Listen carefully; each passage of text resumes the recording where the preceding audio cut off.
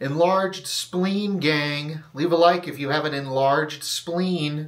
Oh. As you guys can see, I'm getting into the holiday spirit with my Wolverine tank top. This lighting is really accentuating my acne scars. What up, crab ragoons? Uh, Den Den BMX here. I think it's finally time we uh, do this Q&A and figure out who's getting uh, this gaggle ass of balisongs that I'm giving away. But, uh, but we're doing the Q&A first. A lot of entries, a lot of questions that I have to go through. The good thing is that a lot of people kind of asked pretty much the same question. So uh, even if I don't directly ask your question, you may still get an answer to your question because someone else probably asked something similar. But there were definitely like three questions that a lot of people pretty much asked. Yeah, I'd say the most common question that got asked is what's your dream balisong, what's your dream BMX bike, and what's your dream guitar? So I'll answer that one first. So my top three favorite balisongs that I own, uh, not in any specific order, Machine Wise Opus, uh, Acid Work Xyzix, and uh, Bondage Knife Stitch. I'm just kidding, it's Bandage Knives. Yeah, I'd say those are the top three that I own. Uh, close runner-ups would be my BB Superfly. I love this thing. And then my BRS V1 rep, but that's mostly because of the sentimental value it has for me. This balisong turns 10 years old in November, and I will be making a video about it, so uh, stay tuned for that if you want some replicant content. I don't know if that's like the craze these days, but dream balisong outside of those would probably just be an Orca. I feel like you guys already knew that. I could go for like a crispy V1 Orca with the like wave pattern in the blade that's anodized blue. That would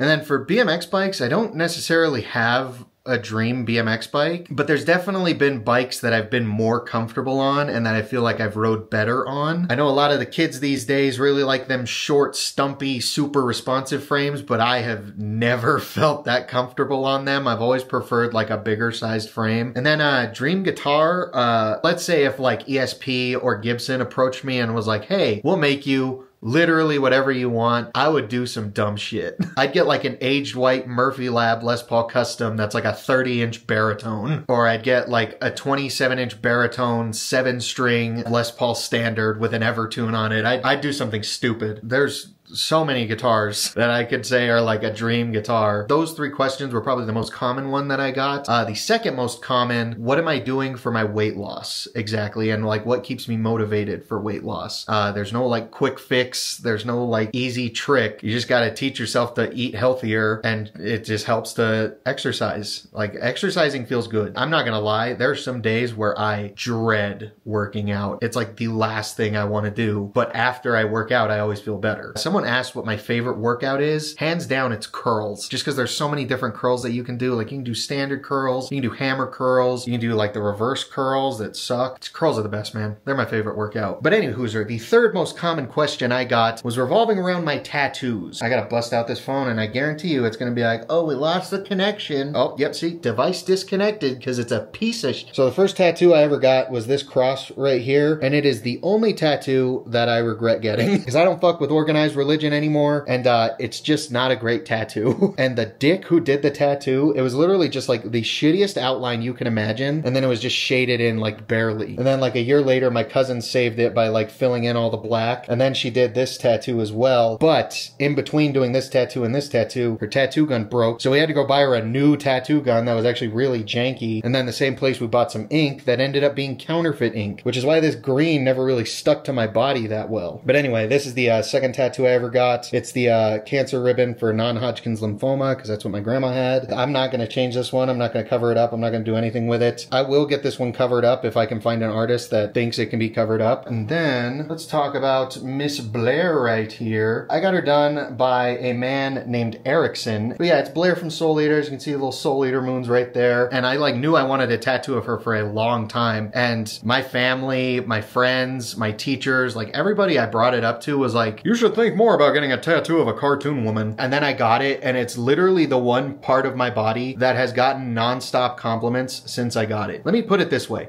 I never really received compliments until I got this tattoo. Uh, next tattoo is the hidden one. Yeah, this is the one tattoo that uh, no one ever gets to see. I'm not gonna lie, sometimes a lot of people are like, what is that? But uh, you can see right here, this is a hammerhead. Uh, this one's name is Hamantha. And there's another little hammerhead down here. Her name is Finnifer. And uh, this tattoo was done by Mr. Mark Longnecker. Was a guy who competed on Ink Master. And Ink Master was my mom and I's show back then. And every single Tuesday, I was like, I ain't doing shit. I ain't going to ride. I ain't gonna hang out with my friends. Tuesday was for me and my mom watching Ink Master. But yeah, one day my mom messaged me and she was like, holy shit, he's here. Why don't you DM him and see if you can get a tattoo by him? And we both ended up getting tattooed by him. I hope he's doing okay down there in Florida. And then my last and most recent tattoo is Miss Miracle right here on my forearm. I got this girl back in June when I went to Blade Show. I've followed Russell for like five years. And then this year I finally decided I was going to Blade Show. And my roommate was the one who actually connected the dots. It was like, hey, isn't that Russell guy you follow in Georgia? Why don't you see if you can get tattooed by him when you're in Georgia? And I was like, so I did, and luckily he had an opening on that very last day of Blade Show, and I went and got this done, and I, oh man, it might be my new favorite tattoo. And then a couple people were also like, why do you only have tattoos on your left side? I have all my tattoos on my left side and my lip piercing on my left side because I'm right side dominant for like literally everything. But yeah, since I'm like right side dominant on everything, I figured I'd make my left side the cool looking side of me. Super autistic. And yeah, I'd say those were like the top three. this thing fucking disconnected again. It's so shitty Let's go on to some uh, individual questions here. So uh, Jacob G3372 asked, do you regret posting any videos or what you said in them?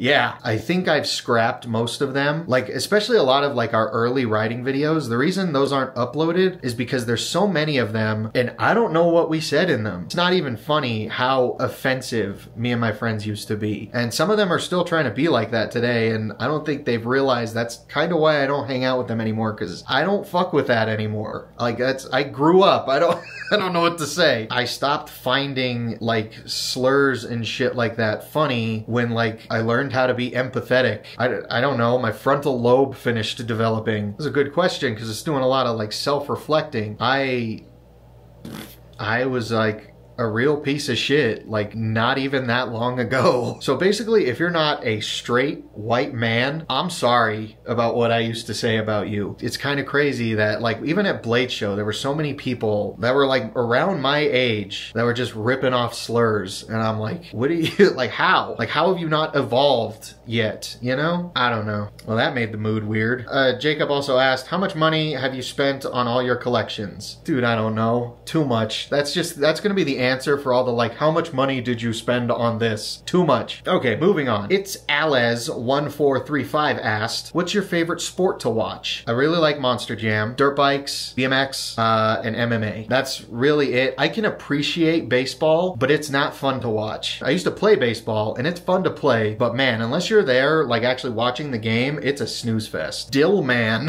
asked, as somebody who also has multiple hobbies that they're passionate about, do you stay equally as interested in all of them or do you put more time into one versus the others? I used to rotate all three of them. I haven't ridden since December. That's another one of the most common questions I got asked is uh, why did I stop riding? I had just ridden almost every single day for like 10 years and I just got a little burnt out on it and I just needed a little break. The BMX content is going to return at some point because I can already feel like the itch coming back a little bit. Right now I'm pretty locked in on guitar playing, I'm not going to lie, but I do flip pretty regularly regularly also still. When I started making content on all three of them as consistently as I could, uh, I would rotate them pretty evenly. Like if you look at my shorts, it's like I upload a BMX short, a guitar short, and then a Balisong short, and I just repeat that. Cole Cavisto 2954 asked, Balisongs, guitars, or BMX? Right now, I would take guitar over the other two. But like if you asked me this when I just got back from Blade Show, I would have said Balisongs. If you asked me back in like 2020, I would have said BMX. That question is very dependent on like when you ask that question. Moving on, Drop In Ninja 4 asked, What is a BMX brand that you personally stay away from? This is gonna be a hot take. I have never really fucked with S&M or Fit. I don't know if it's just because a lot of S&M and Fit stuff was sold here where I live, but uh, even in videos, I'm not saying that they're the worst or that they objectively break the most often. I'm saying in my experience, the brand of parts that I've witnessed break the most often has been S&M and Fit. So Commander Gamma asked, have you ever considered designing your own Balisong? I think a few other people have asked me this question too. And yeah, I have, but I have no fucking idea what it would be. I've never really had this like exact design that I've always wanted to bring to life. Uh,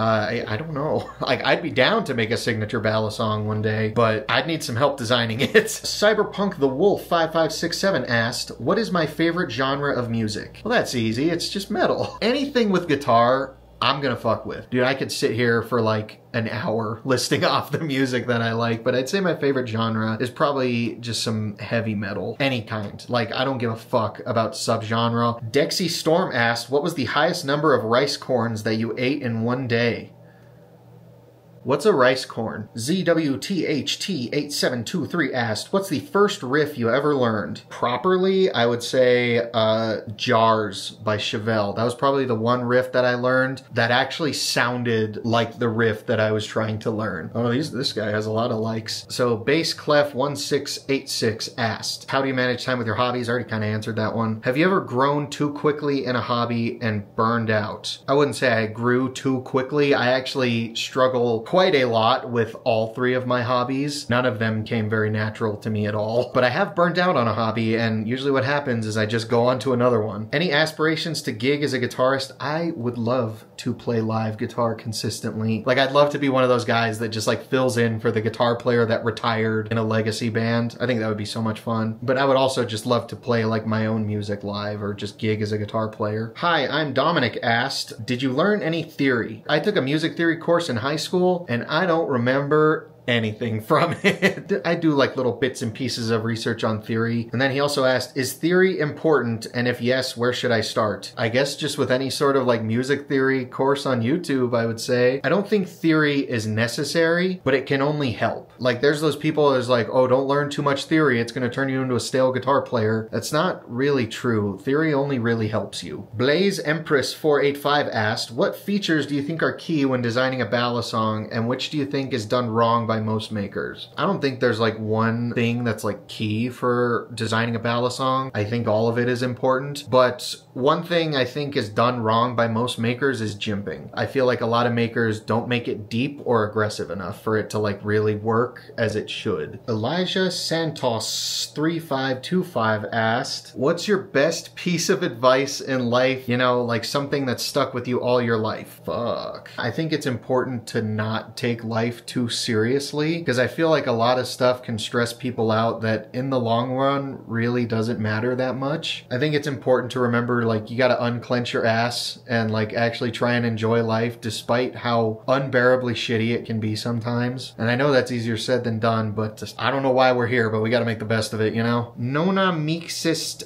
Statal asked, I was wondering how long you've been in the balisong community in order to get to your level. What do you mean by that? like my level in flipping? Uh, not that long. I'd say like out of the three hobbies that I focus on, balisongs are the easiest one. Like that has the easiest learning curve. Like that's the one that you can like get a grasp of the quickest, I would say. When you say my level in the balisong community, are you talking about like my popularity? I, I don't know. Like I was never very active in the community until I started making balisong videos. The first first balisong videos I ever made, I was calling out a bunch of assholes. And I don't know, people seem to really jive with that at the time. And I, I don't know, man, just be yourself. NY Rusera asked, if you could have dinner with two famous people, alive or dead, who would they be? Shit. like the two that are coming to my head are Eddie Van Halen and BB King. I would love to just sit and talk for hours with both of those guys and just learn. Uh, Robert Downey Jr., he's kind of the person that inspired me to come out of my shell a little bit bit when I was younger. This would be really cool to talk to him. Free Soup 9673 asked, what's your overall opinions on other types of riding hobbies like skateboards or scootering? I think they're fucking sick. I know everyone likes to make fun of scooter riders, but some of those guys can do some batshit crazy stuff. I'll always admire skateboarding just because I could never, it didn't click with my brain. I can ride in a straight line on a skateboard and that's about the extent of my abilities on one. It's not like the sport that is the issue. It's how some people act within their respective sport and the superiority complex they can have because of it. And that's what causes like all the fights and all the goofiness and all the stupidity. Like Steve Caballero trying to start arguments over, oh, BMXers can't call half cabs half cabs. Why the fuck not? That's the dumbest non-argument you could start. Get over yourself. Connor H6779 asked, how long does it take you before you become comfortable and good at performing a given trick? Uh, I think that all depends on just how much you practice practice it. There's not like a set time, you know, it's it's how much practice you put into it. Like that's the key for guitar, balisongs, and BMX. It's just practice. And the more you practice, the faster you learn. Jesse Hauser 4215 said, How long have you been flipping for? I started flipping in 2010, so 13, 14 years, but I've been doing freestyle BMX like 10, 11 years, and then I've played guitar since seventh grade. That so it's been like 17 years that I've been playing guitar. Lob Prob Bob asked, How has your day been? My day's been good. Yesterday I found out that I have an enlarged spleen, so I gotta figure out what that what what all that's about, but uh, I'm doing good. Let's see here. Where the fuck? Okay, here it is. Mao Lowell.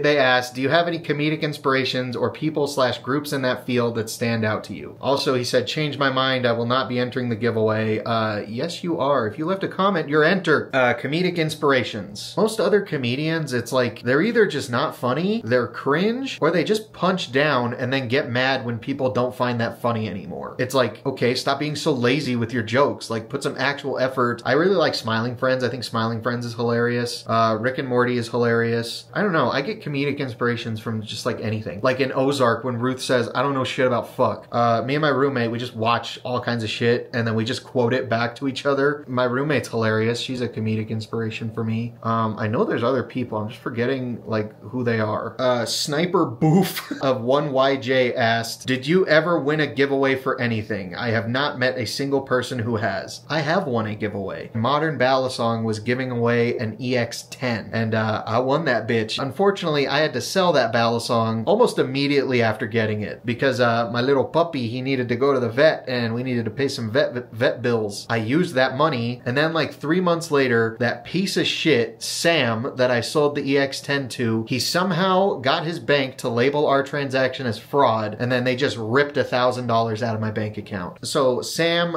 James with an X on Instagram, still waiting for that thousand dollars, buddy. Trasher, spelt with a six, asked, have you ever heard about pen spinning? Yes. And then they also asked English or Spanish. Well, uh, I can't speak Spanish, so I guess English. I was raised half the time by an angry uh, Hispanic woman. That was my grandma. She talked to me a lot in Spanish, so I can understand a lot of Spanish, but I'm not very confident in like speaking it other than when I just like say cuss words in Spanish. Sebastian Pelez 6436 asked, what's the most challenging trick you've mastered on your BMX bike and how long did it take you to perfect it? The foot jam windshield wiper probably took the longest for me to land because I would just sit there for like hours and hours and hours and hours trying it. And then I would finally land it. And it's kind of the same thing every time I try it. I think there's only been like one time where I landed it and it didn't take me that long. And I wouldn't even really say I mastered it. It's just like I can land it if I'm persistent enough. But that's most of the BMX tricks that I would do. I, I usually have to sit there for quite a long time until I can get it. Then he also asked, what attracted you to balisong flipping and how do you stay safe while practicing new moves? Kick ass and like just balisongs and media attracted me to it. How do you stay safe while practicing new moves? Uh, I didn't. I was a live blade only person for like the first 10 years. Trainers are always a safe bet. Um, if you have a live blade and you're really scared of getting cut, just put masking tape over the blade. You should be safe. Um, but the thing that gets me most about live blades is the tip. The tip is what I'm always the most scared of. So when I get a balisong with a live blade and a crazy tip that I know that I'm gonna keep, I just take it and I just go, oops, and then I drop it on my carpet and suddenly the tip's gone. All right, fellers, I think we're gonna wrap it up there. I would love to answer everyone's question, but I've already been sitting here for 94 minutes, so why don't we figure out who the winner of this giveaway is gonna be, eh? Let's figure out who's gonna win this gaggle ass of balisongs here. But yeah, I'm on this random YouTube comment picker, and I'm just gonna enter this URL and see who wins. And if you left a comment in this video, you're entered to win. I don't give a shit if you were like, oh, I'm not gonna, I'm not gonna, I'm not actually entering, I'm just leaving a comment. All right, critters, I am going to paste this URL into here. I am going to fetch these comments. I am not going to include replies or duplicates. Anything else goes. Let's continue. We have loaded 188 comments. Let's pick a winner, shall we?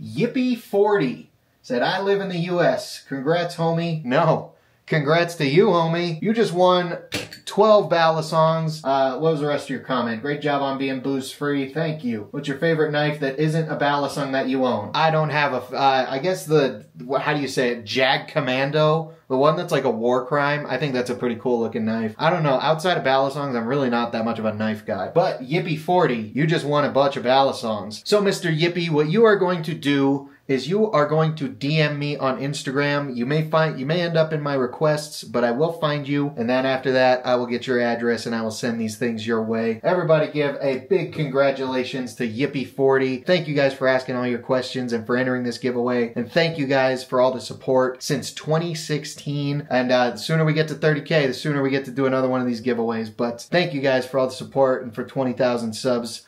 I We'll see you guys next time. I'll turn the light off when they come back in. Okay, make sure they come back. They usually do. Yeah, there's a coyote out there. I'll fucking kill that bitch.